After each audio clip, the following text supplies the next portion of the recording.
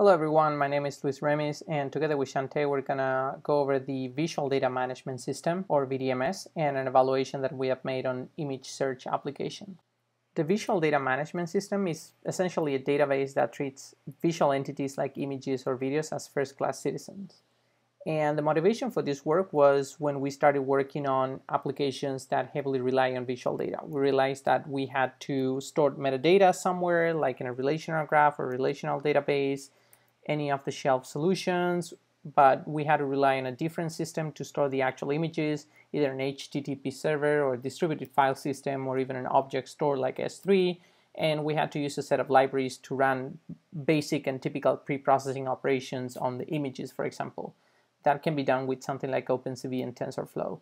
But the result was that all the information had to be segregated among different systems that have different interfaces. So we wanted to build a database that would solve this problem and would enable applications to store all the data that they need to run their analytics on a single place. So our design principle was to enable everything of anything that a database can provide, like storing accesses, accessing, and also transforming the visual data behind a single interface.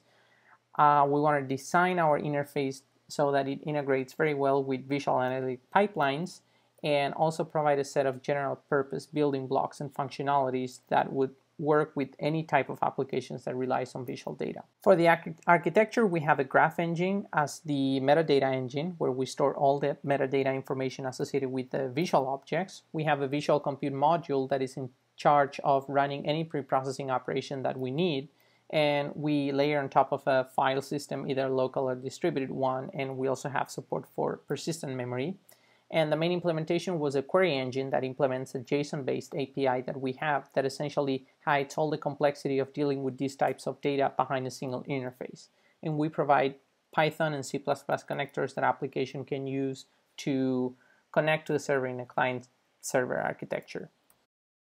For our evaluation, we mainly wanted to assess whether or not VDMS was going to be able to support a very large number of clients connecting simultaneously and retrieving visual objects like images this is kind of the killer use case or the main application because what we see uh, the context in which VDMS is going to be used is where you have a setup with a large pipeline, uh, machine learning pipelines running training or inference um, over a large volume of images and videos or visual data in general.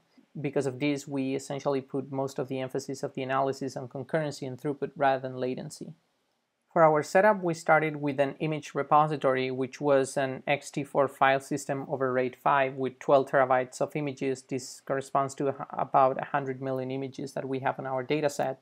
And we instantiated a VDMS server that would connect to that repository and provide all these images and metadata through the application behind VDMS interface. And we set up two parallel systems which use Apache Web Server to serve the images and one application ba based on Postgres that would connect to a Postgres instance to retrieve the metadata and the Apache Web Server to retrieve the images and perform whatever pre-processing operation needed on the client side and also set up a parallel system using MySQL.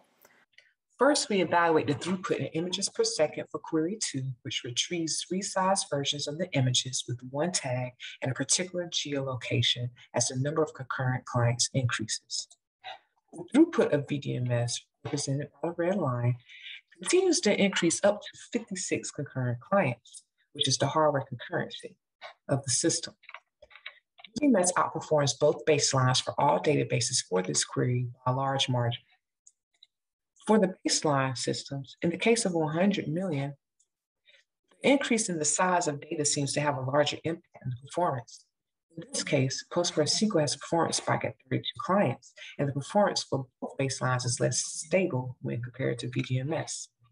This, is, this result can be attributed to the increase in the complexity of the joint operations as the number of rows in the tables increases. Next, we evaluate the throughput by each system for all queries using the 10 million database as the number of concurrent clients grows. VDMS consistently outperforms each of the baseline systems for query 1, query 2, query 4, and query 6 as the concurrency grows. VDMS throughput continues to significantly increase up to 56 concurrent clients, which is the hardware concurrency of the system for all queries except query 3. In this query, the throughput seems to decrease after 32 clients, and both baselines outperform VDMS. In the case of query 5, the throughput baselines are less aggregated than those of VDMS up to 16 current clients. At 16 clients, the performance of the MySQL baseline begins to mm-hmm. stabilize while the throughput of the PostgreSQL begins to degrade. However, as concurrency increases beyond 16 clients, the difference in throughput becomes clear with VDMS reaching its peak performance at 112 concurrent clients. The reason for that lack of scalability lies on the query implementation. Given that VDMS does not yet support operators that enable querying images to have both connections to a class A or tag A and a tag B, we have to implement this transaction by doing two retrievals. This involves retrieving partial information in the first retrieval, applying an intersection operation to client, and then doing a second retrieval to bring the right metadata in and or to the images.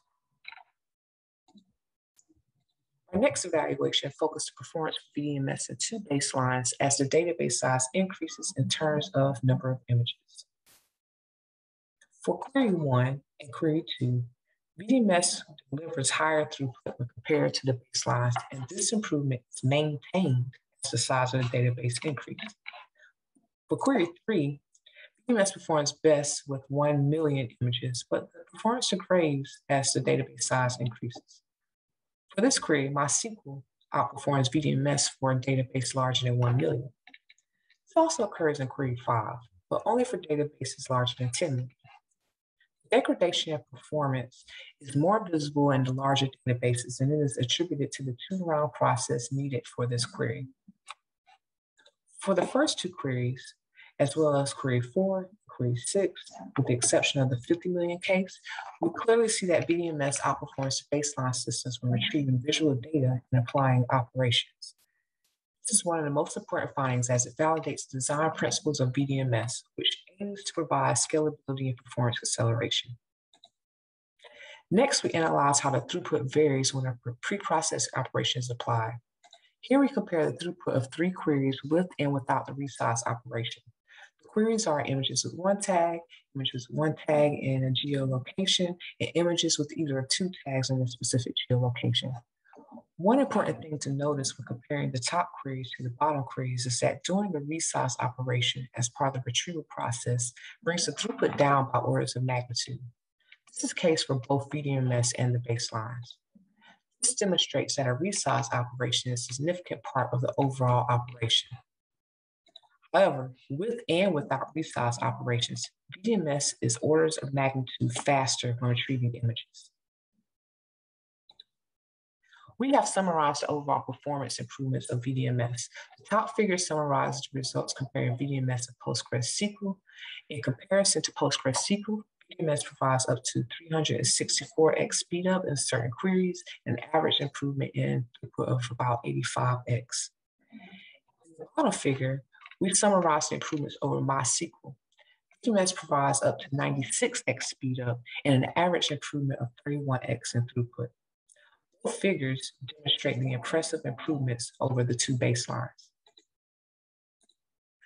Most of the performance improvements can be attributed to the design principles of VDMS, which aims to eliminate the need of combining and repurposing systems that were designed to handle types of data other than visual data. VDMS by design eliminates most of the inefficiencies that result from a forced integration of components designed for a different range of applications. For evaluation, we see how VDMS compares against a combination of industry standard systems, all of which are needed to replicate only a portion of VDMS's functionality. Compared to PostgreSQL, VDMS provides improvements of up to 364x in certain queries and an average improvement of about 85x. While on the other hand, VDMS compare, provides an improvement of 96x in certain queries and an average improvement of 31x when compared to MySQL. For both cases, the improvements are impressive. VDMS was designed with analytics in mind simplifies the process of data preparation and data access and provides functionalities non-existent in alternative options. VDMS can help simplify the design of future applications that rely on visual data by efficiently handling complex queries. Thank you for attending.